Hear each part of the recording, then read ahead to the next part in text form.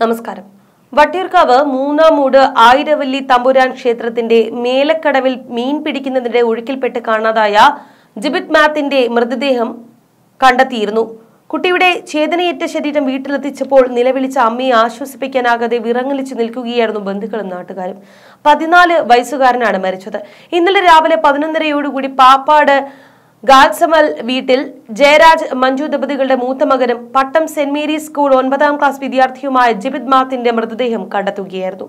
പോസ്റ്റ്മോർട്ടത്തിന് ശേഷം വൈകിട്ട് നാല് മണിയോടുകൂടി മൃതദേഹം വീട്ടിലെത്തിച്ചപ്പോൾ മകന്റെ തണുത്തുറഞ്ഞ ശരീരം കണ്ട് ആ അമ്മ നിലവിളിക്കുകയായിരുന്നു. എങ്ങനെ ആശ്വസിപ്പിക്കണമെന്ന് അറിയാതെ ഉടലുകയായിരുന്നു ബന്ധുക്കളും നാട്ടുകാരും.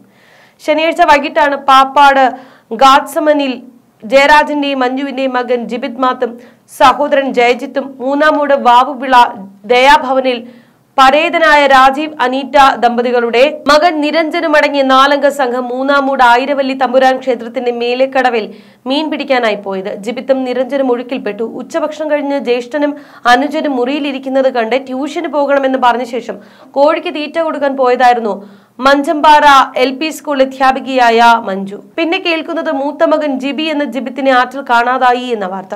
അപ്പോൾ മുതൽ കുഞ്ഞിനൊന്നും വരുത്തരുതേ എന്ന പ്രാർത്ഥനയായിരുന്നു അമ്മയ്ക്കും അച്ഛനും. പക്ഷേ മഞ്ജുവിന് മുന്നിൽ ഭർത്താവ് ജയരാജിന് ആ മരണ വാർത്ത അറിയിക്കാനായിരുന്നു നിയോഗം. ഇന്നലെ രാവിലെ പത്ത് മണിയോടുകൂടി Pattom Saint Mary's higher secondary സ്കൂളിലെ ഒൻപതാം ക്ലാസ് വിദ്യാർത്ഥിയായ ജിബിത്തിന്റെ മൃതദേഹം കണ്ടെത്തി. സഹോദരൻ ജെറി എന്ന Jayajith A R R public സ്കൂളിലെ ഏഴാം ക്ലാസ് വിദ്യാർത്ഥിയാണ്. കൂട്ടുകാർക്കൊപ്പം മീൻ പിടിക്കാനും കുളിക്കാനുമായി ആറ്റിലേക്ക് പോയപ്പോൾ ജബിത്ത ജയജിത്തിനെയും ഒപ്പം കൂട്ടിയിരുന്നു. ജ്യേഷ്ഠൻ മുങ്ങുന്നത് കണ്ട് ജയജിത്ത് നിലവിളിച്ചുവെങ്കിലും രക്ഷിക്കാനായില്ല. എന്നും ഒപ്പമുണ്ടായിരുന്ന ചേട്ടൻ നഷ്ടപ്പെട്ട ഞെട്ടലിലാണ് ആ കുഞ്ഞ്. അച്ഛൻ Jayaraj retired B S F ജീവനക്കാരനാണ്. എന്ത് കാര്യത്തിന് മുന്നിട്ടിറങ്ങുന്ന ജിബിയെക്കുറിച്ച് എല്ലാവർക്കും നല്ലതാണ് പറയാനുള്ളത്. ഇക്കഴിഞ്ഞ ഓണത്തിന് അമ്മയുടെ സ്കൂളിലെ ഓണപരിപാടികൾക്കെത്തിയ ജിബി സദ്യ വിളമ്പാനും കളികളിൽ പങ്കെടുക്കാനും ഒക്കെ മുന്നിലായിരുന്നു. പോസ്റ്റ്മോർട്ടം കഴിഞ്ഞ് വൈകിട്ട് വീട്ടിലെത്തിച്ച മൃതദേഹത്തിൽ സഹപാഠികളും നാട്ടുകാരും അധ്യാപകരും അനധ്യാപകരും അടക്കം നിരവധി പേർ ജിബിത്തിന് ആദരാഞ്ജലി അർപ്പിക്കാനെത്തി. മന്ത്രി V ശിവൻകുട്ടിയും V K Prashanth M L എയും വീട്ടിലെത്തി രക്ഷിതാക്കളെയും ബന്ധുക്കളെയും ആശ്വസിപ്പിച്ചു. വൈകിട്ട് അഞ്ചര മണിയോടുകൂടി പാറ്റൂർ പള്ളിയിൽ സംസ്കരിച്ചു. ജിബിത് മാഥ് മരിക്കുകയും ഏഴാം ക്ലാസ് വിദ്യാർത്ഥിയായി നിരഞ്ജനെ കാണാതാവുകയും ചെയ്ത സംഭവത്തെ തുടർന്ന് ഇന്ന് സ്കൂളിന് അവധി പ്രഖ്യാപിച്ചിരുന്നു.